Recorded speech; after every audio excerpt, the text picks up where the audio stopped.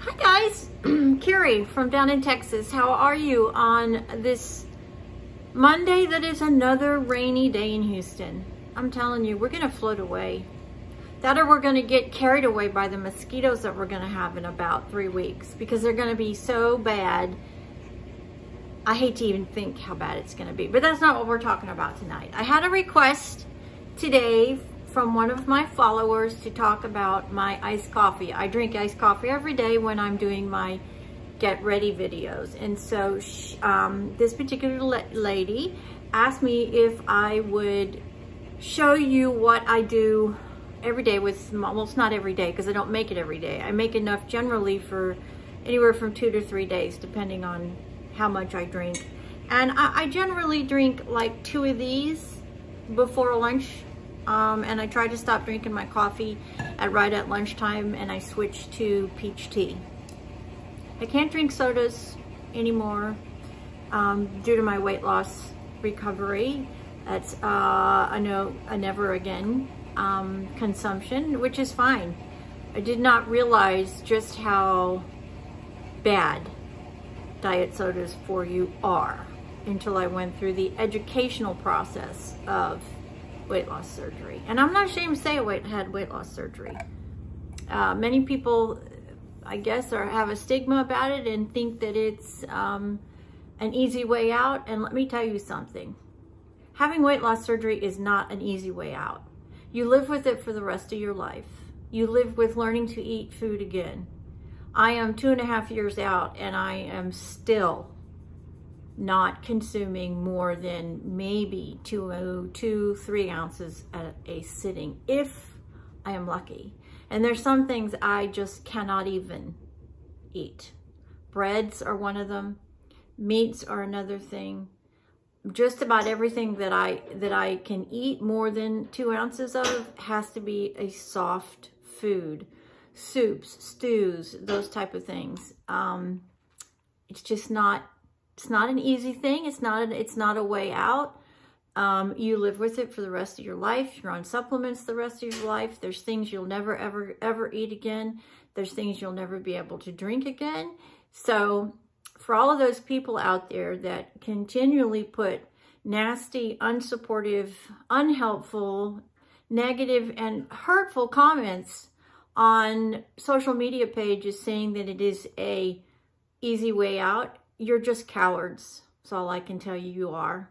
Because you sit behind the camera and you make disparaging comments about somebody that you more than likely have no clue who they are or what their story is or why they've had weight loss sur surgery. Because let me tell you, there's a lot of people, including myself, that had weight loss surgery for medical reasons, medical conditions.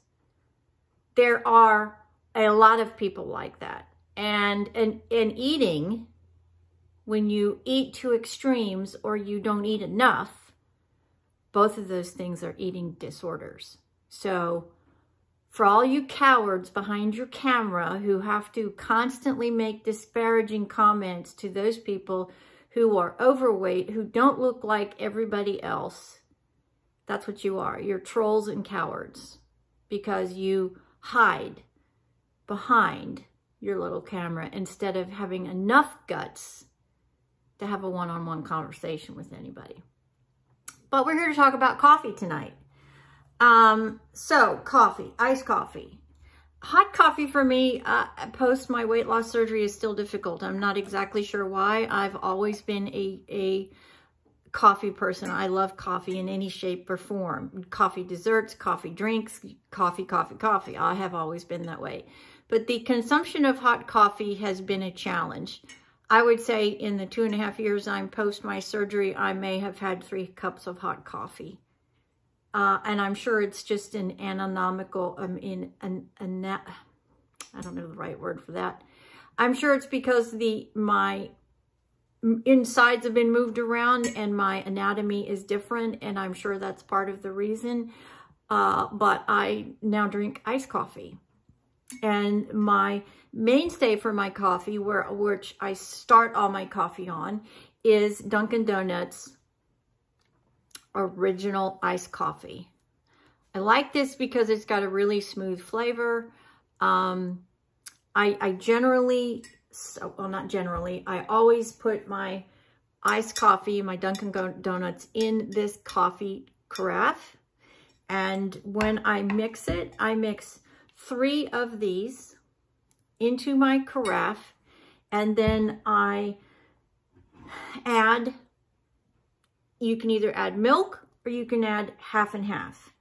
And depending on how full the three bottles make it, sometimes I, you know, have a little bit left. On this particular time, I do not. So let's just go ahead and fill it up and I can show you for three of these where this fills up this carafe. And I, I make it ahead of time, so all I have to do is put it over my um, ice in the mornings and I'm ready to go.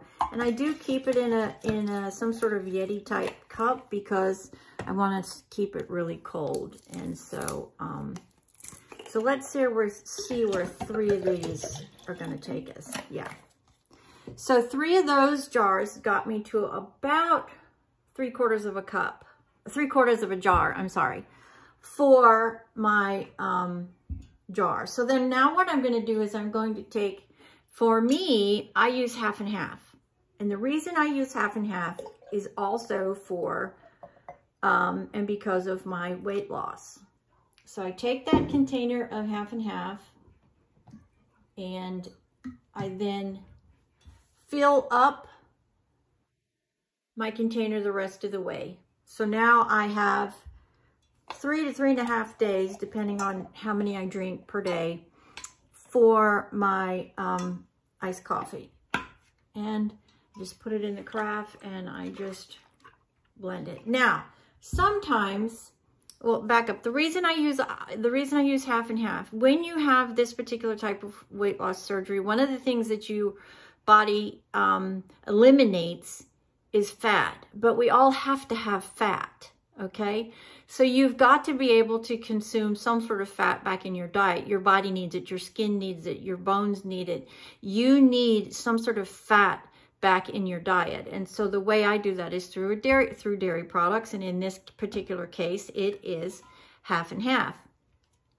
Now, if I'm struggling a little bit with an upset stomach, sometimes what I will do is I will go ahead and, you know, fill up my container and I fill it, I fill it up about here with ice and then I fill it up to about here with my coffee. And then sometimes, especially if I have a little bit of an upset stomach, I will on top of that add a little bit of either a whipped cream, um, you know, with a frother, or I might, sometimes I've even added a little bit of a flavor to it. But generally speaking, I just like plain um, regular coffee flavor. I don't generally add a lot of flavors to it. I think I think in two and a half years, I may have done that a couple of times at the holidays just to try one of the holiday flavors to see if I liked it. And, and I really am not 100% sure I like it. I, I think I just would prefer the regular unflavored coffee. And so that is how I make my iced coffee. And so it does two things for me. It helps put fat back in my diet and it does help me get calories in because at this stage for me, my struggle is not getting enough calories. So I plateau my weight loss because at this point, my weight loss is over 130 pounds and I really don't want to continue to lose any more of that. Um, I'm five foot eight and so I just don't want to become gaunt or skeletal looking, as my son says I look. Bless his little heart. But anyway, so that's how I make my um, iced coffee. Very simple. I put it in the refrigerator. I don't have to worry about it going off because I'm drinking, you know, two of these a day um, for sure.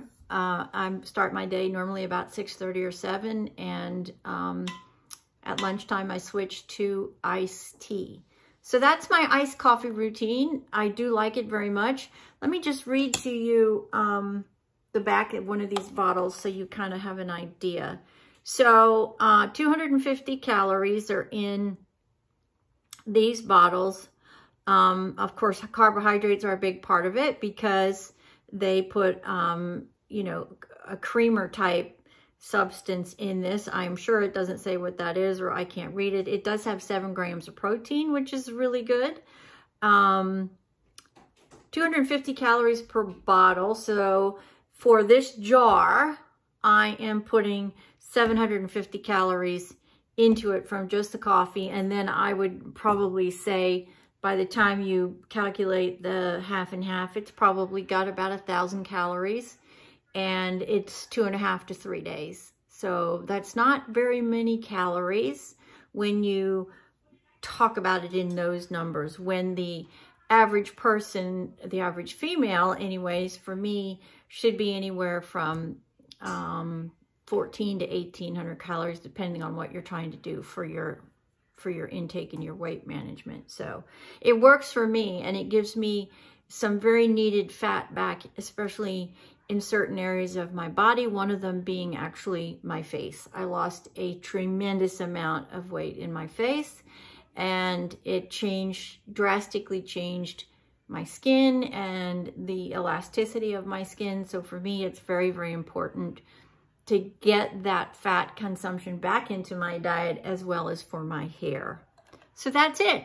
I hope um, I've answered all your questions. If I haven't, please don't ever hesitate to shoot me out a message and I will answer it directly for you. And as always, I do want to hear from you. So if there's other things that you would like me to talk about or film, by all means, please send me a note. I had a very, very nice request from another one of my viewers last week, and I've done two or three videos for her, and that is a, a great joy for me because I'm interacting with you and I'm answering questions and doing things that you guys are asking me to do, and that's what this channel is all about. We're here to help each other, positively support each other in every way we can, and negativity is not welcome at this channel.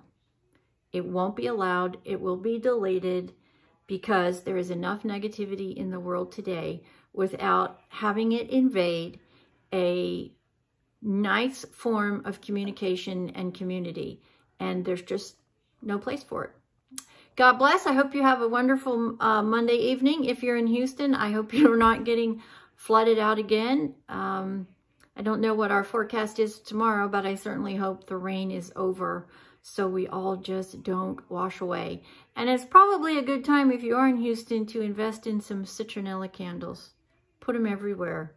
You're going to need them. In about three weeks, the in mosquito infestation is going to be out of control.